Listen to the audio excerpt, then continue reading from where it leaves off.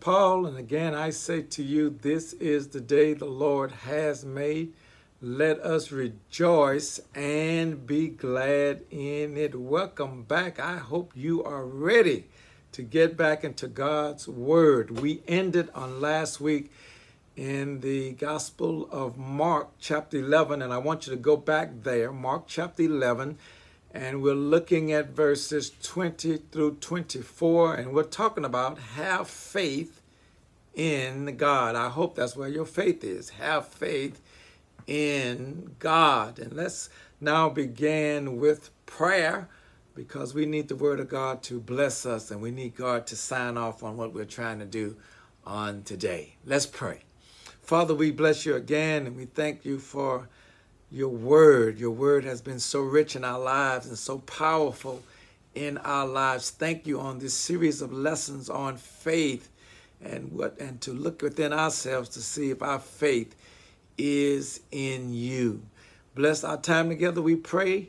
Bless each person who listens and those who have ears to hear, that they will receive that which will bless them and cause them to grow in grace and in knowledge of our Lord and Savior Jesus Christ. In Jesus' holy name, we ask it all. Amen. We ended last week in uh, Mark chapter 11 talking about Jesus after he cursed this fig tree. Uh, he spoke to this big fig tree because it did not bear fruit and it dried up.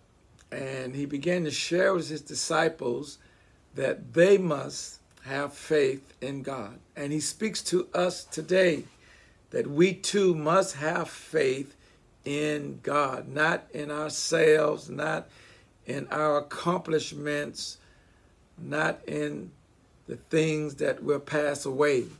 Our faith should not be in gold and silver. Our faith should be in the Lord our God. So we ended last week uh, we got the points one and two uh, in Luke chapter, I mean, in Mark chapter 11. Uh, number one, we said, uh, don't doubt in your heart, Mark 11, 23. And then we talked about believe what you say, Mark 11, 23. That B clause says that. And so I'm going to pick up here and read Mark 11, uh, began in that verse 22 down to verse 24. So Jesus answered and said to them, the disciples, Have faith in God.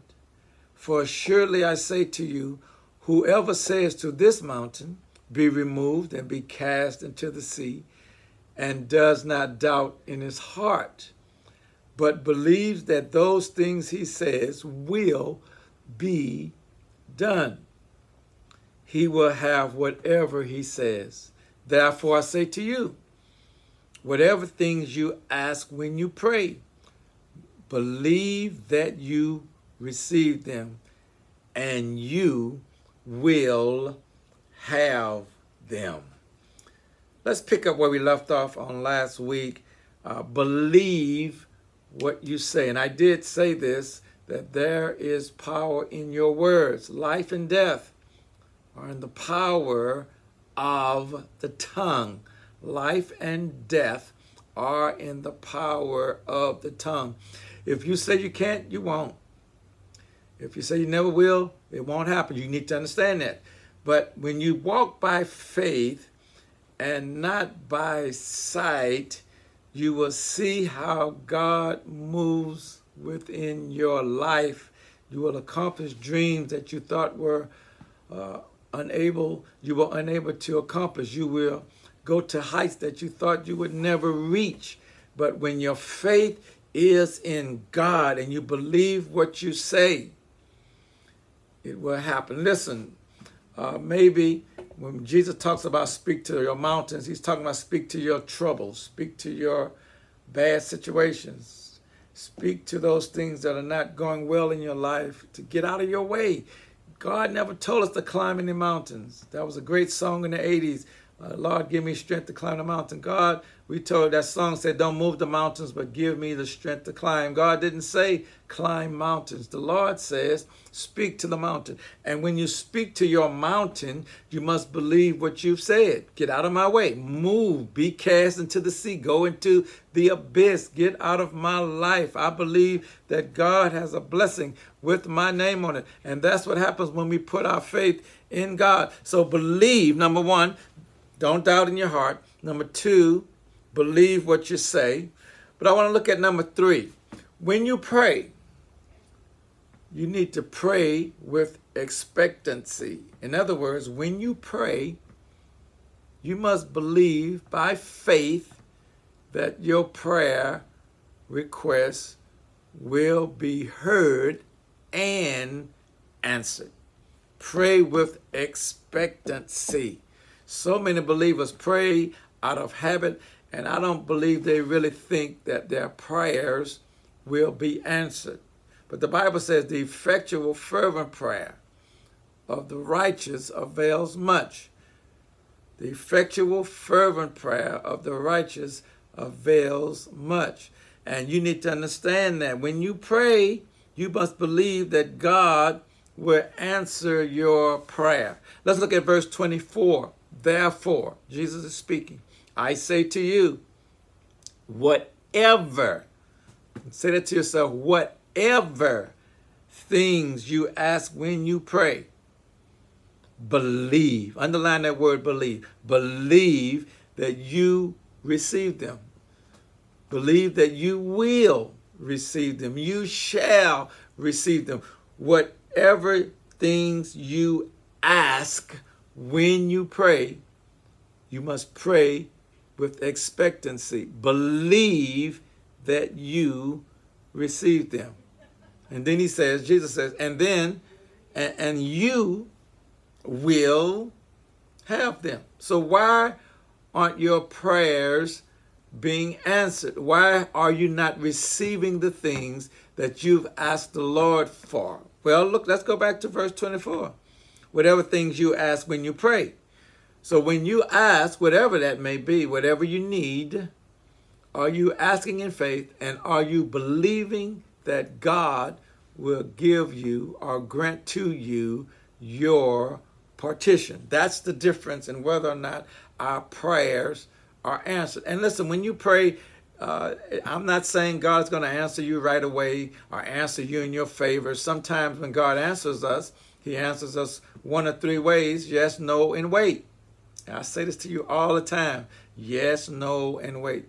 There are some seasons in our lives that God would allow us to go through, but I do know His Word says in due season, when it's your time, in due season, you will reap if you faint not. So when you pray, pray believing, pray believing whatever you've asked God for, you will have it. You will have them. Maybe you need more than one thing. Maybe you need God right now. God, I, you're in a desperate place. Your prayers, Lord, I'm praying, calling on your name. And I'm believing with all my heart that you will give me what I need.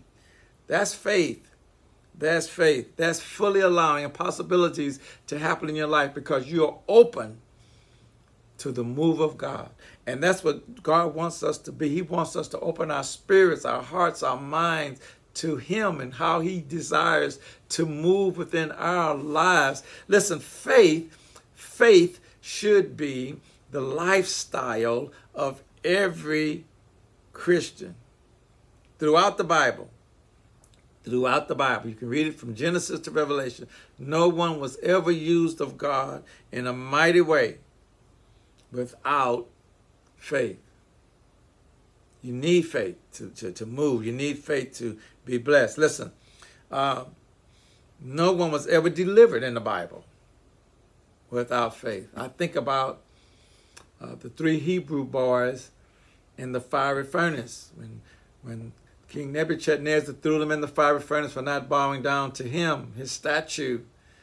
Uh, they said, listen, uh, we don't have to answer you in this matter, O king because the God that we serve, he's able to deliver us. Now, he may not, but we believe that he is able. You have to believe, listen, I'm praying for deliverance. I'm praying for healing. I'm praying for financial blessing. I'm praying for God to work a miracle in the life of my family, my kids, my grandkids. I believe by faith and I pray expecting God to answer me because I believe. And so no one in the Bible is ever saved without faith. The Bible says, by faith, by grace are you saved through faith. By grace are you saved through faith. You have to believe in God. If you confess with your mouth the Lord Jesus and believe in your heart that God has raised him from the dead, thou shalt be saved. That's in Romans chapter 10 and verse 9. You have to believe. We must have faith to live. You need faith if you're going to live. You, the Bible says the just shall live by faith. You have to have faith to walk. We walk by faith and not by sight. You must have faith when you pray.